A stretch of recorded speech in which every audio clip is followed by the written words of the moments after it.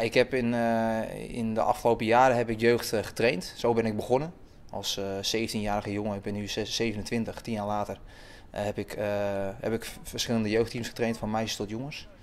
En dit, is een, dit is iets heel anders. Dit zijn wat oudere mensen. En ik ben officieel ben ik coördinator van deze groep. De trainer is Cor Zwart. Alleen wij vullen elkaar aan. Ik ben altijd bij de trainingen en we doen het eigenlijk samen. Zo kan je het een beetje zien. Het leuke aan walking voetbal is dat iedereen het kan doen. Um, dat betekent dat uh, een, uh, iemand van, van 35 plus of zelfs jonger dit spel kan spelen. En we hebben een deelnemer van 85 jaar, de Piet Houter.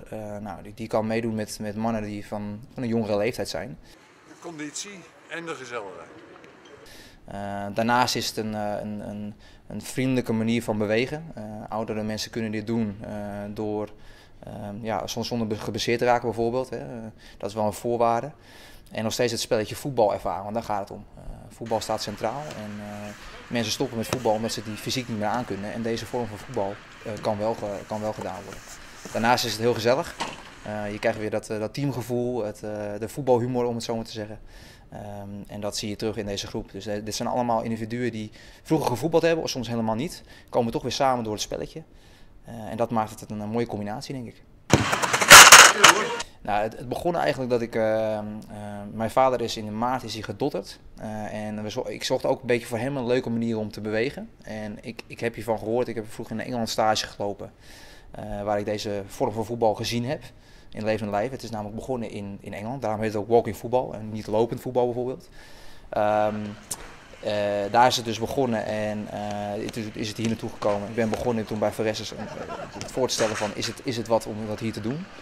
Andere doelgroep, ehm, leuk voor, voor, het, voor de reuring binnen, binnen de vereniging. Um, dus zodoende is het eigenlijk gekomen. Het is begonnen bij de buurtsportcoach. De buurtsportcoach is eh, Pascal eh, de Hoog. Zij heeft het een, een, geregeld dat er een trainer hier naartoe is gekomen om uit te leggen hoe het precies werkt. Hoe je het initieert binnen een vereniging. Wat erbij komt kijken om het te organiseren. En toen heb ik gezegd tegen de vereniging van, hey, uh, moet je luisteren, dit, is, is dit wat? Zullen we met een uh, groepje mensen dit gaan starten? en dan was het nog onzeker, want je moet natuurlijk wel deelnemers vinden. En we zijn nu een aantal maanden verder. We hebben nu een, deelnemersgroep van ongeveer 15 mensen. Maar ongeveer 9 tot 10 mensen per training. Nou, dat is natuurlijk een fantastisch begin, maar dat is ook niet vanzelfsprekend. Als coördinator ehm, ja, ben ik een beetje verantwoordelijk voor het hele kader. Dus ik ben ook bezig met een beleidsplan te schrijven voor, voor dit project. Omdat we het niet alleen bij Veressers willen doen, maar misschien ook bij HSV. Dat we het binnen, binnen Heilo breed gaan aanbieden. Um, ja, en mijn taken zijn met name het, het aanstellen van een trainer. Nou, dat is in dit geval het beheren van een budgetje wat we binnen de vereniging hebben gekregen om, om dit te doen. Uh, ja, eigenlijk van, van alles. Dus ik organiseer ook activiteiten zoals toernooien. We, hebben, we hebben laatst oefenwedstrijden gespeeld tegen andere clubs uit de regio. Wat natuurlijk fantastisch is dat je dat extra kan bieden. Hè? Dat je niet alleen traint, maar dat je ook wedstrijdjes speelt. Ik, werk met, ik werk in de gehandicaptenzorg. mensen met een beperking, in dit geval kinderen. bij, binnen een naschoolse dagbesteding in, in Haarlem. Um, en ik geef daar een sportles. En ik coördineer de, het hele sportfacet een beetje binnen, binnen een locatie in, in Haarlem in dit geval. Ik ben begonnen als vrijwilliger en, en ja, binnen de sport is het zo dat, dat je van daaruit eigenlijk moet starten. Dat, dat gebeurt vaak. Het is niet zo dat je als je een sportopleiding hebt gedaan, dat je je ervaring al betaald ergens hebt gekregen. Dat doe je altijd eerst vanuit de vrijwilligersbasis. En dan hoop je door te stromen naar betaald werk. En dat is het eh, ideale scenario.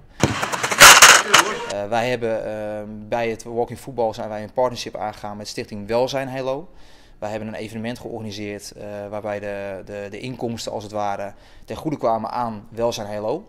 Um, en uh, nou, omdat Welzijn Hello een, belangrijke partner is ten aanzien van de ouderen, daar zit, een heel, daar zit onze doelgroep eigenlijk, hè, dat is, is doelgroep, onze doelgroep aangesloten, hebben wij gezegd we willen graag met jullie samenwerken.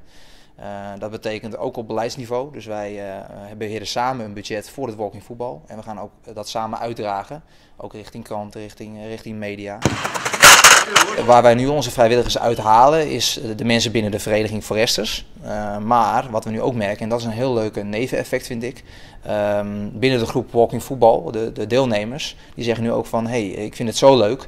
Uh, kan ik ook een bijdrage leveren in, in, in, vrijwilligerswerk als het ware. Dus ik heb nu net gesproken met, met, met een van de deelnemers die zegt van ik wil wel voor jou onderzoeken of wij binnenkort een, een stichtingsmodel kunnen oprichten en wat daarbij komt kijken. En dat helpt mij enorm omdat ik op dit moment dit naast mijn werk doe. En uh, ik niet alles, uh, uh, ja, niet overal tijd voor heb. Dus het wordt echt een team effort. Dus dat is wel erg leuk. Mensen vanuit het VIP zijn zeker welkom met bepaalde competenties. Die kunnen we hier altijd gebruiken om het groter te maken, om het bekender te maken.